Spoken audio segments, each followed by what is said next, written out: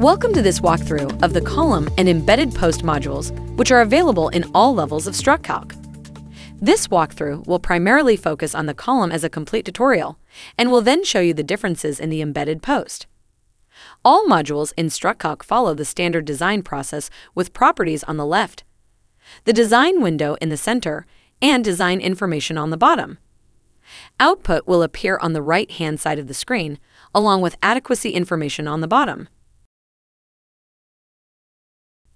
LRFD and ASD design are available. Here you can also select wet or dry factors. The first step you should always do is set your material, species, and grade combinations. Wood is based on the 2018 NDS, steel is based on the AISC 360-16, and structural composite and I-joists are always as up-to-date as possible based on manufacturer's public information. You can always check the available codes by looking under the project settings. First set all the properties in your design. Column, size, options, factors, and deflection. Under column first set any eccentricity that you want for loads to be applied in both the x and y directions. Next, you can either use the auto-calculate feature for the buckling slash effective length factor, or they can be set from this selection design screen. You can also use the auto-calculate feature for the stability factor or choose to set a custom value. The cantilever automatically cantilevers the top of the column. The calculators are all easy ways to calculate and add loads and are covered in their own video. It is important to note here the wall calculator allows adding up to three floors of loads above the column. Here also set spans and lengths. This design will be a two-span column. StruCalc can make up to a three-span column.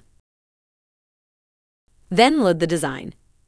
StruCalc supports uniform loads, trapezoidal loads, point loads, axial loads, moments, and linked loads. These loads can be applied in either the X, Y, or Z directions. Linked loads are covered in their own video.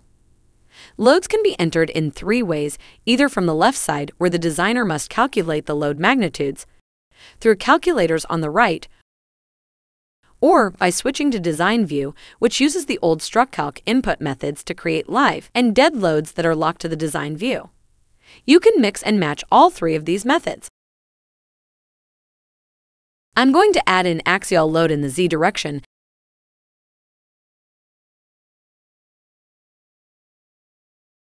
and then add a snow load in the y direction.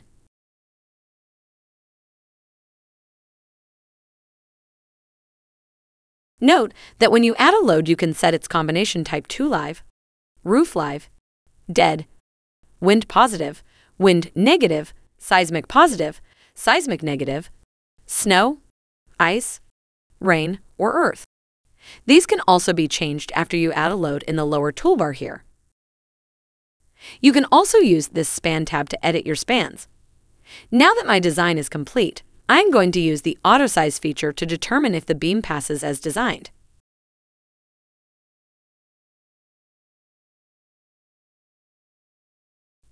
I've selected my results and returned to my design where it has generated adequacies and VMD diagrams. Since I use the AutoSizer, this is all going to be adequate. If I was doing the design iteratively on my own, I would probably need to investigate some failing adequacies and make some manual adjustments. Next, I will open the print preview to view my output and customize it for future printouts as part of my project. I can select diagrams and different views here. These will be saved for later and automatically used in the print preview for the print project. Now we will open the embedded post, and you will notice the only difference is you can set the details for the embedded part of the post. These include the footing dimensions, soil bearing pressure, whether a restrainment is being used, doubling the soil pressure, and changing the footing to round instead of square or rectangular. The design is the same as a column from this point, with the limitation that multiple spans cannot be added. After calculating an embedded post, you get additional design information with the required total length of the column, both above and below ground.